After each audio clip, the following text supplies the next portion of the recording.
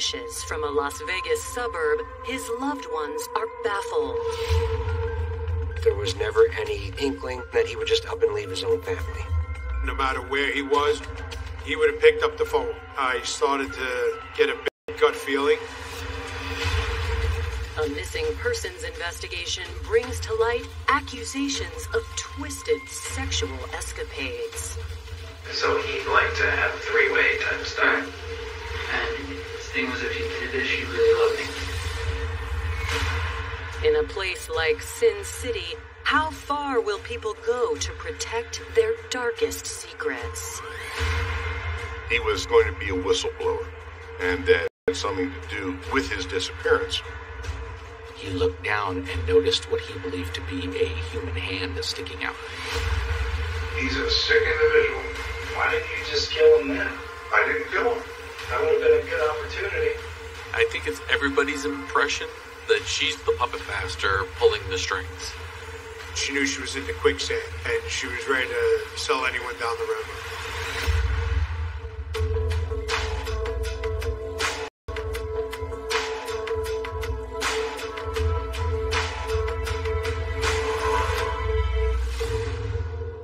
On April 21st, 2006, police in the Las Vegas suburb of Henderson, Nevada received word of a potential missing person 47 year old Larry Thomas. A man by the name of William Peters, who uh, actually lives in New York, called and referenced that he hadn't heard from his in some period of time. William Peters informed the desk officer that he's very close with Larry Thomas and that he would speak to him multiple times a week, either via text or via phone call. All of the times that I called Larry, whether it was his work number, his private number at work, or his cell phone, all of my messages went to his voicemail. And it was just not of Larry's makeup not to answer the phone. No matter where he was or whether he was in trouble or not in trouble, he would have picked up the phone. When I contacted my sister Stephanie, she told me that Larry packed a bag and he left. So I started to get a bad gut feeling. William gives police contact information of both Larry and Stephanie Thomas. The desk office response it went straight to voicemail. The Henderson police weren't able to contact Larry. They contact his wife, Stephanie. Police requested she come in for a further interview. The officers want to gather as many facts as possible. Born in New York on March 26, 1959, Larry Thomas's main passion in life revealed itself at an early age. Even as a child, Larry showed an interest in cars. He was always tinkering around with vehicles. If anything mechanically had a problem, he would jump in and work on it. One of four boys, Larry had the privilege of being raised in a tight knit, supportive family. He had a pretty decent uh, childhood. You know, he, he had some great family fun. At just 21 years old, he opened his own gas station and auto repair shop on Long Island. He's a well respected man in, in his field with the automotive world. One afternoon, when Larry was 22, a beautiful young woman in a waitress uniform pulled up to get some gas. It was 19 year old Stephanie Peters. Stephanie was my older sister. We were very close. I mean, you know, growing up, I used to say that Stephanie was my guardian angel. You know, she was always there for me. She worked in some tough locations, bars, restaurants. She would be the first one to get involved, break up the fights, and throw people out. She didn't take anyone's If you crossed her or the family, then then you had to you had to pay for it. That was just the way she was. But like Larry, Stephanie had a soft side too. She was a caring person, you know, and I guess when you have two people that have similar personalities, you just start to talk. Soon, Larry and Stephanie were talking nearly every day. she made it more of a habit to go into the gas station and, you know, talk to Larry a little more. And, you know, he always gave her the time of day. They just hit it off. After dating for four years, the couple married in 1986. In the coming years, they had five children, and Larry and Stephanie devoted themselves to their family. People have described Larry as a very good father, somebody who doted on his children and took care of them. Raising five children. I'm working. And for Larry, that wasn't good enough. He wanted to be the breadwinner, so there was always a parent home to raise the kids. In the early 2000s, the couple relocated to the Las Vegas suburb of Henderson, where the cost of living was lower and Stephanie could stay home. They both loved it. They were outside more often with the kids. You know, that pool. You know, it was more family fun, and that's what he wanted for his family. Larry took a job that allowed him even more flexibility, teaching auto repair at the College of Southern Nevada. But Stephanie struggled to transition into the role of stay at home mom. She went looking for a job. She truly felt she needed to be out, you know, working. It wound up that if she was able to work a couple hours here or there, you know, even at night, that would be fine because he'd be home to take care of the kids at that point. Stephanie's no nonsense personality was a perfect match for Las Vegas bar scene, and her attitude as a waitress soon caught the attention of a bouncer named Sean Pritchett. Sean, as she got to know him, winds up that he explains to her that, you know, he's got this uh, home improvement business that he's got and that he needed someone, you know, uh, to do his books. Soon, Stephanie's management skills transformed Sean's small operation into a competitive company. She was always good financially, you know, she understood a lot. Sean asked Stephanie to uh, become partners with him in this house painting business. Sean and Stephanie's painting business seemed to be on the rise. Larry was doing well enough at school where he actually had a series of promotions and was doing pretty well by himself. Things were going pretty good for all of the parties. When Stephanie explained that Larry packed a bag and left the kids, you know, I, I knew that there was something wrong. After Larry Thomas was reported missing, Stephanie reveals to police on April 22, 2006, that it has been nine days since she last saw him. According to Stephanie, that morning they had had a pretty big argument and that he left. Larry ended up going to work, and later that afternoon, she took the five kids to her mother's house on the other side of town to color Easter eggs. Later on that night, while they were there, she told us that she received numerous phone calls from Larry. Stephanie says she gathered up the kids and swung by Walmart around 12 a.m. before returning home with an armload of groceries. She noticed that his car wasn't there. She checked the downstairs bedroom and noticed that a lot of his clothing was gone, his laptop was gone, and she also noticed that his toiletries as well as his jewelry was gone. Her initial assessment is Larry's mad at me. He's going to disappear for a few days, then I'll hear from him in a couple of days. Stephanie says that as the days passed, she's become increasingly worried that Larry isn't coming back, and she has a theory as to why. Stephanie made the allegation that her husband might have been having an affair and that very possibly he had run off with this other woman. At this point, in order to begin an investigation, the officers want to determine if there is foul play involved. Coming up, one affair allegation leads detectives to another. He believed that his wife was having an affair business partner.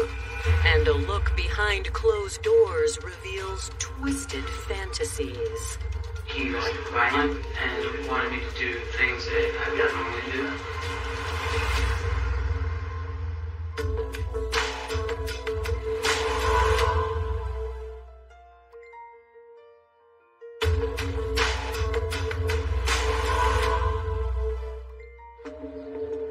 April 22nd, 2006. Police in Henderson, Nevada are investigating the disappearance of 47 year old father of five, Larry Thomas. Larry's wife, Stephanie, tells police she has reason to suspect Larry left her for another woman. She said that she didn't know who the woman was, but she did know that there was a phone number that Larry called very frequently and appeared to be secretive during those conversations. She gave that phone number to the Henderson police. The Henderson police determined that it belonged to a woman named Marianne Milky. Before reaching out to Larry's alleged mistress, investigators follow their usual missing person protocol, tracking Larry's activities since he was last seen on April 13th. The last phone call made was to Stephanie on the night that he disappeared. And the bank records showed no activity after the night that he disappeared. Also, part of the standard procedure when investigating a missing adult is to enter All of those things were checked to make sure that Larry didn't slip through the cracks. He is truly disappeared at this point. On April 27th, 2006, detectives call Marianne Milky, the woman Stephanie believes to be her husband's mistress. She hadn't heard from him since basically the 13th of April. She was very concerned about his safety because, based upon what he had described to her, he would never leave his children and, and just disappear like this. Marianne says she's known Larry for nearly two years.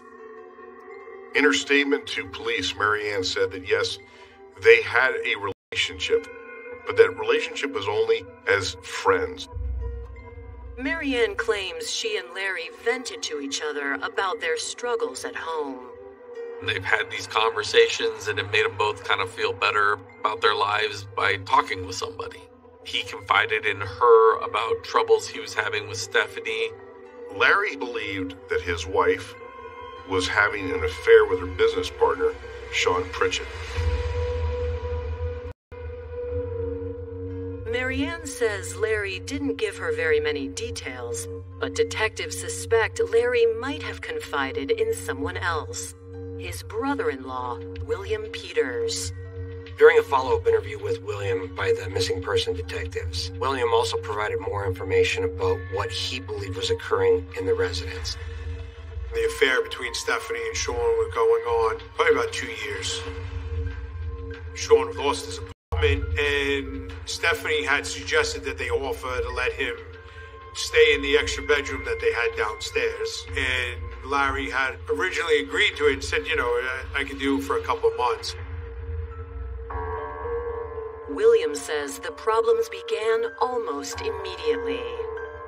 He noticed that Sean and Stephanie seemed very close for just being, I guess, a roommate situation, and that he also noticed that it seemed like Stephanie dressed a little more provocative than she had before now that Sean was living in the house. I was telling Larry, I can see that there's something going on. You definitely need to do something. You need to tell this guy he needs to get out of your house. William tells police that finally, in December 2005, Larry put his foot down. Stephanie was absolutely livid that Larry actually asked him to move out of the house. Uh, she was beside herself because the way she reacted was not normal. Despite the affair, William tells police Larry refused to give up on Stephanie and his five kids.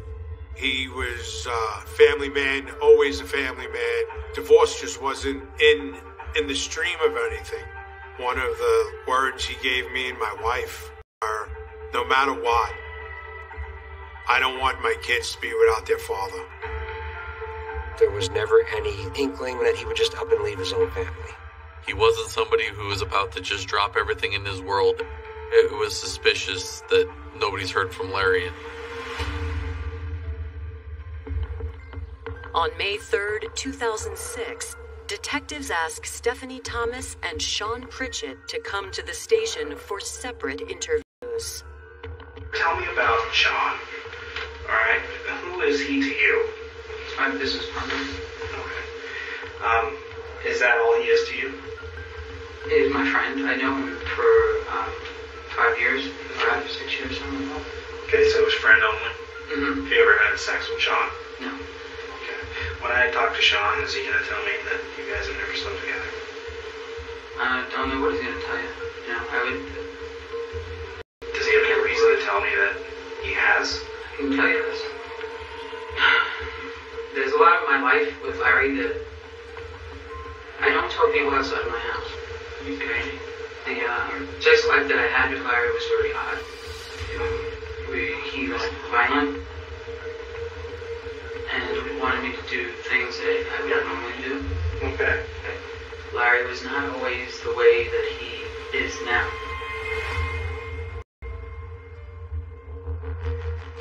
Stephanie explains the problems in her marriage can be traced to one fateful night in January 2004. Larry is involved in an accident where two girls died on the parkway. Um, he was supposedly cut off a truck. The truck hit these two girls, and um, he went to jail. The actual charge was unsafe lane change. Larry is the one who asked Sean to move in, and he talked to about helping run the house because we didn't have money. That somebody was actually there to take care of the kids and stuff because he didn't know actually how long he was going to be in jail. When did he go to jail? He went to jail September of last last year. And how long was he there? It was supposed to be a month. He got out earlier than he thought he was going to get out. Stephanie says the man who came home wasn't the husband that she knew. He just he would blow up. He's got more since he came home from jail. That he would take the violence out on her. I I never thought he'd hit me either. I never thought in my dreams, But he did. but he did. Stephanie says Larry's temper wasn't the only thing that changed.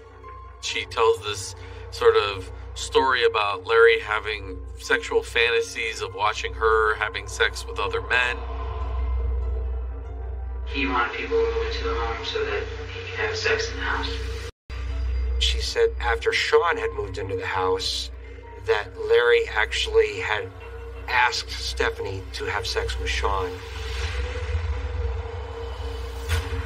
Coming up, another side to this family man is revealed. Larry started some stuff that I really don't want to talk about because um, it's sick. And a gruesome discovery puts the missing persons case on a We noted a human body that was in obvious stages of advanced decomposition.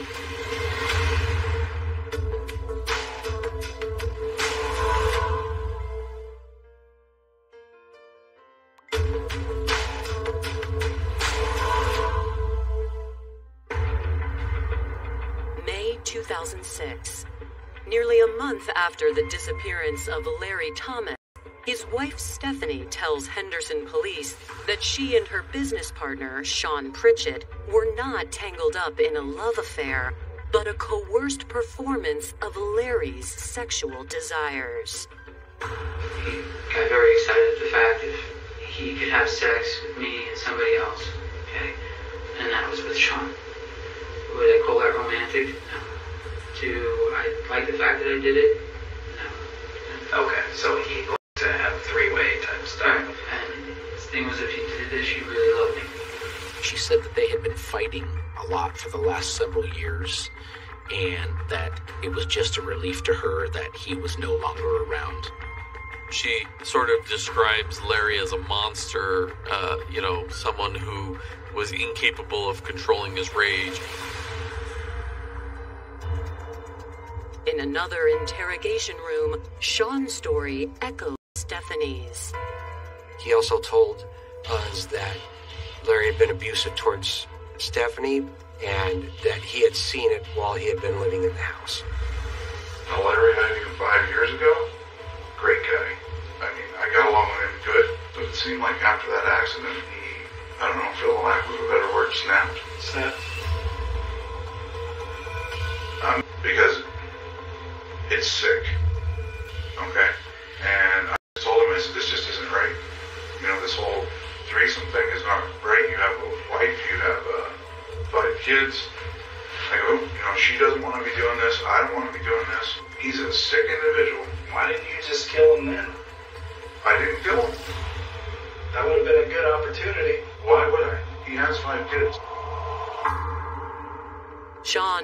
up an alibi to back his claims of innocence. Sean mentions it during his interview is he says, you know, I was at the bar all night and that while he was there he had received a call from Stephanie saying that her and Larry had got an argument and she told him that Larry up and left. In addition to his alibi, Sean provides detectives with a lead to explore the community college where Larry taught auto repair. He told me things are bad at work. I said, what do you mean? Larry's made all the teachers mad. He's made all the bosses mad. They have an audit out there. Uh, a bunch of people got in trouble for working on cars, charging money to work on cars. Everybody was kind of implicated. Sean went on to tell the police that Larry was going to be a whistleblower and that it was this information that might have put his life in danger and had something to do with his disappearance. Detectives release Sean and Stephanie, and on May 4th, they head over to the College of Southern Nevada to investigate Sean's theory. They did interviews with many of Larry's coworkers, his business associates at the college, his friends, and determined that this was not a viable theory. There was no evidence that anybody at the community college thought that Larry had information that would cause him harm. Everybody thought that whatever Larry's issue was, it had to be a domestic issue. One employee actually brings up the fact that Larry had told her that he felt that Sean was trying to have him killed. Larry had a life insurance policy where Stephanie would have received $250,000 at the time of Larry's death. She believes that Sean may have been plotting to kill him, sort of take over his life, get the life insurance. Although the insurance provides a possible motive, there is no direct. I think that fairly early on, the police were of the opinion that something wasn't completely right about this situation, but there was no body that was found. There's nothing that sticks out as clearly indicative of criminal activity. The investigators were looking at all the leads in this missing persons case. They were looking at coworkers. They were interviewing family and friends, trying to determine what happened to Larry. And I was praying to every saint I could that they were going to find him alive. You know, maybe beaten up or whatever. They were going to find him alive. Over a month after Larry was last seen, Henderson detectives receive a surprising development in the case out of San Bernardino, California. Our sheriff's dispatch center received a call on an administrative line, not a 911 call, of a suspicious circumstances uh, out in a remote part of the Mojave Desert. A gentleman and his family were out in that area just taking photographs of what was left of the old ranch. And after he took the photographs, uh, he looked down and noticed what he believed to be a human hand sticking out. We were dispatched out there on May 14th of 2006. We noted a human body that was in obvious stages of advanced decomposition. We immediately noticed uh, major trauma to the head and facial area of the body. It also appeared at that point in time that it was the body of a male subject. There was no physical evidence located at the scene, and based on their investigation, it appeared more that the body had been dumped there. San Bernardino deputies send the body for autopsy. the victim had multiple blunt force trauma injuries to his head as well as his body. The coroner believed that it was possible that he had crushing injuries consistent with being run over by a car. They also noticed on the clothing that the person was wearing, it had the name Larry Thomas on the inside of the clothing. They see in the NCIC that Larry Thomas has been reported missing out of Henderson back in April of 2006. We were able to compare the fingerprints from our male to the fingerprints on the missing person and realized that it was indeed the same person. San Bernardino deputies notify the Henderson. We told Stephanie that we had located the body of her husband. There was really no emotional response at all. That definitely sets off a red flag. Investigators break the news to Larry's friends and family. They learn that Sean has made himself a permanent fixture in the Thomas house he pretty much stepped in as a fatherly role right from the minute Larry went missing. All the pictures of Larry are no longer around. There are pictures of Sean, like the family man, in the house now, and he's set up house with Stephanie and the children as if he's the father. Not only that, friends and family say that Sean has been slowly turning Larry's children against him. They were told Daddy ran off with another woman you know, uh, he, he left us for another woman. He was no good. He wasn't a good dad. He has been telling these children things that he wouldn't tell any child, let alone um, these children whose father has been found murdered. Based upon everything that was looked at at this point, the only thing that makes sense is Sean likely had something to do with it. Coming up. Investigators work to piece together a case against their suspects. There has to be some type of physical evidence in order to bring this case forward and make arrests. I either have you as an accomplice or I have you as an witness. You guys think I'm part of it. And I tell you the truth, I wouldn't believe me anyway.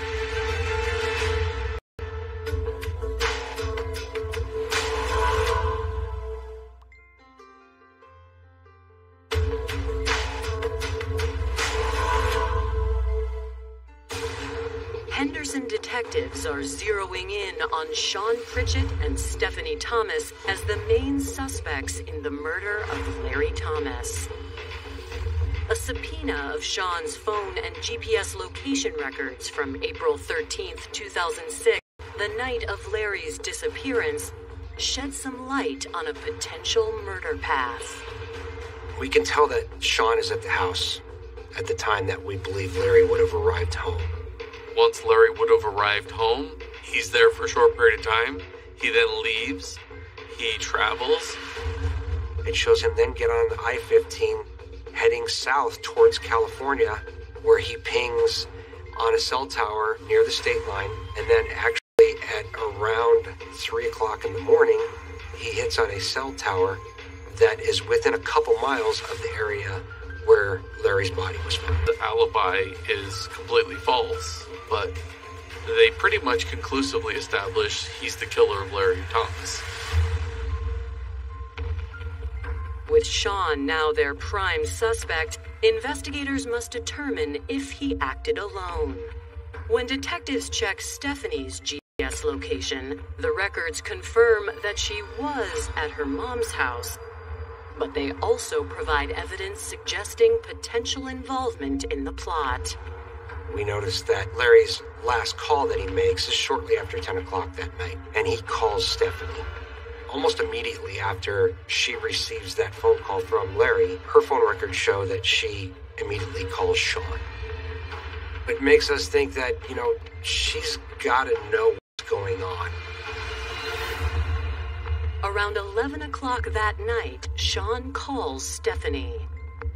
The minute he makes his first phone call, to Stephanie after leaving the house, Stephanie now starts driving back to the house. So it's almost as though he's saying, hey, you can come home now.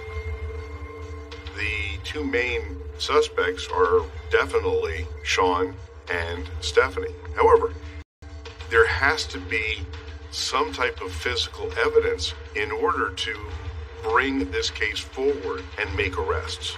They didn't have it. For the next 18 months, detectives scrambled to find the smoking gun. We don't have any evidence left at the scene. Uh, we don't have any evidence at the house that shows that that's where Larry was killed. At this point in the investigation, it hit somewhat of a dead end. Though Sean remains distant, Stephanie keeps an open dialogue with investigators. Here's the thing, you know, like I told you before, Sean is a major suspect in this case. I know, you've told me a hundred times. Okay. You know, you keep saying you got such hard evidence against him. Why don't you come and freaking get him? He's gonna be. Okay, but the thing is, is I know, based on all the stuff that I've investigated, that you know something about it. You guys think I'm a part of it. I'm losing everything that I have. And I tell you the truth, and you don't believe me anyway.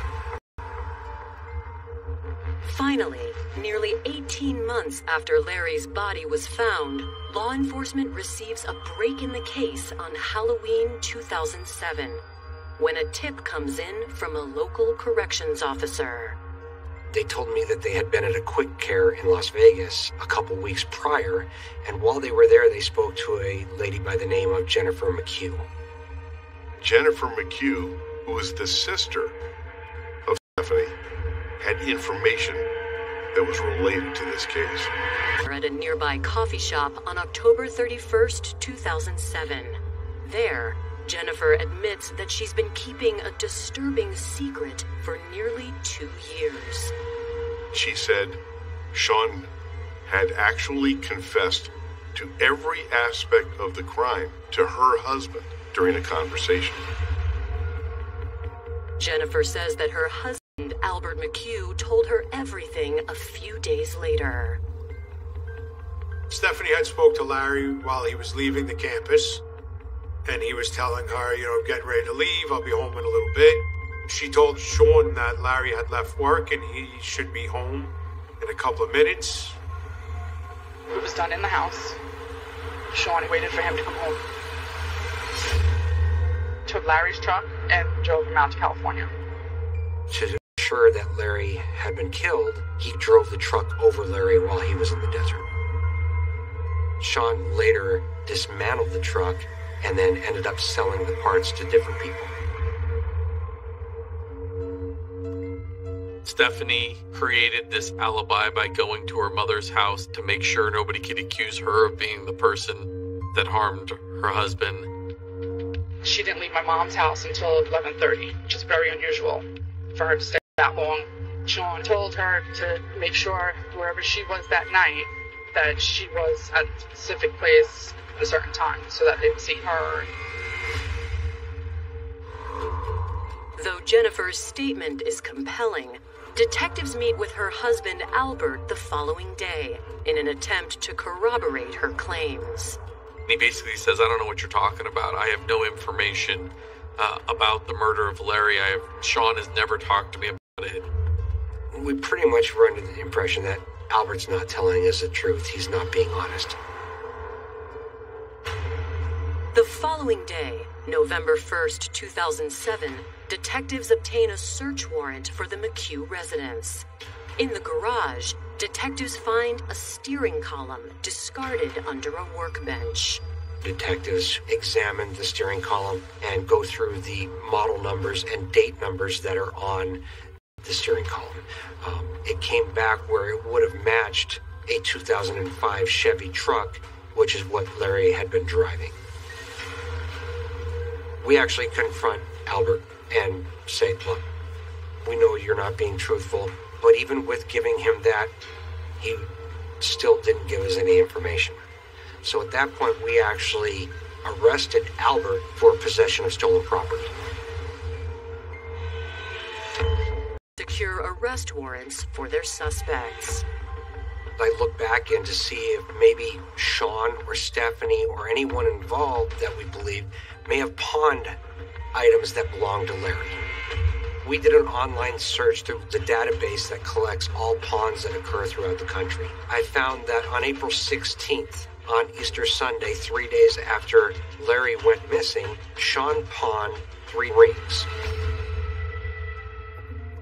Detectives go to the pawn shop and collect the three rings that Sean had sold. Our first thought was there's a possibility that this jewelry could be Larry's. I then contacted some of Larry's family and asked if they knew of any jewelry that Larry wore. I said, actually, you know, we went through a few pictures, and I says, I have one of him dancing with my mother-in-law at my wedding. I said, I see he's wearing a ring there, and they said, I just, you know, send it to me. Detectives compare the pawned ring to the photograph of Larry. Larry is actually wearing a ring that appears to be the exact same ring that was recovered from the pawn shop. That was a pretty compelling piece of evidence to indicate that Sean's the killer. After obtaining an arrest warrant the following day, detectives conduct a traffic stop and place Sean under arrest for murder. Sean, just as he did two years earlier, refused to give any type of statement regarding what had occurred. Stephanie was there, but at that point, we still hadn't felt that we had enough to charge her, um, so she wasn't arrested. Now that Larry's presumed killer is behind bars, detectives need to uncover the evidence that will put away suspected mastermind.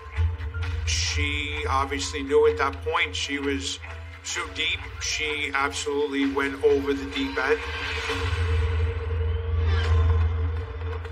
Coming up, detectives cultivate grounds for a lover's betrayal.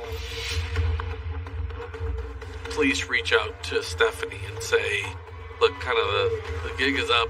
I could tell by the look on her face when she saw me walk in, she knew what was happening.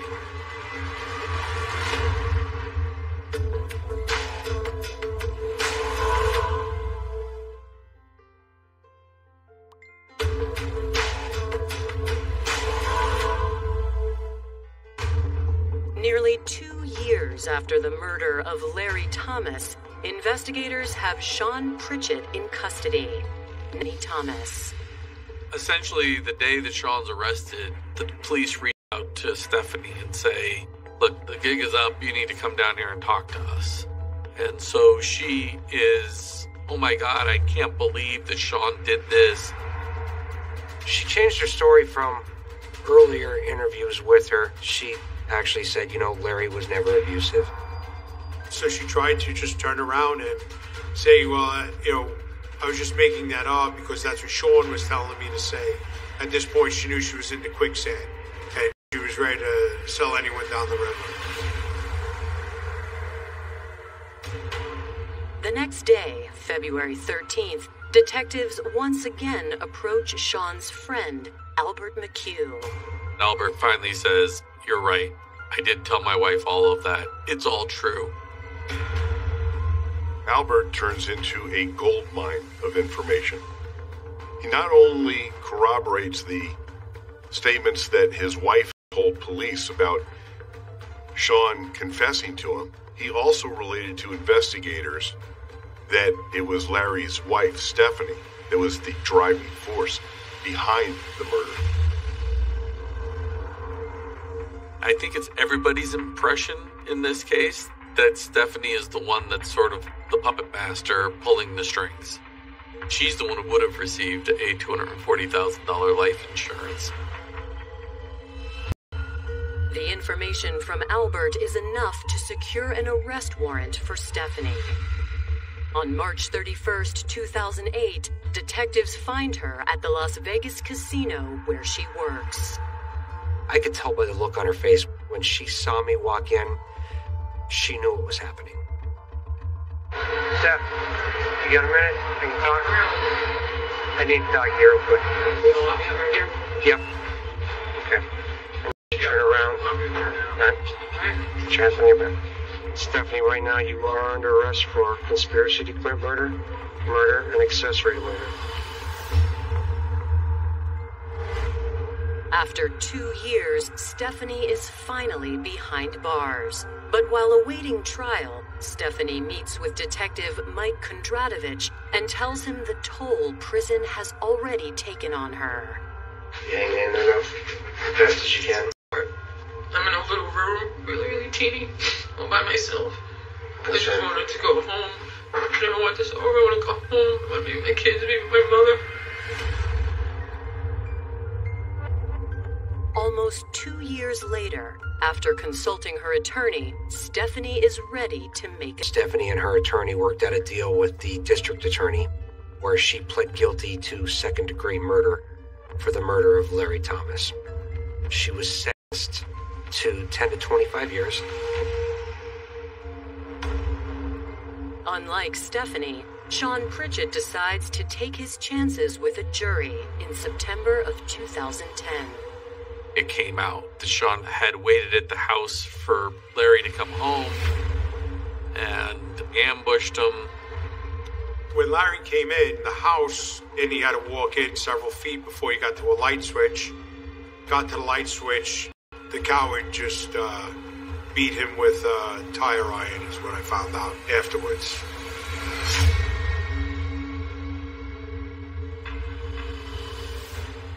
At the conclusion of the trial, the jury took about four hours to deliberate the case, um, and they came back with guilty verdicts on the charges of first degree murder, robbery, and conspiracy to commit murder. He was sentenced to 45 years to life. He ultimately will spend the rest of his life in prison. For the Thomas family, what started as a hopeful move from New York to Las Vegas ended in tragedy. One person from work, I recall her saying he had two loves in his life his job and his kids. And from what I've learned in talking to people, he would have done anything for his children. He is missing out on being the father and the parent that he so desperately, desperately wanted to be. And his five children will never, ever, ever have their father with them.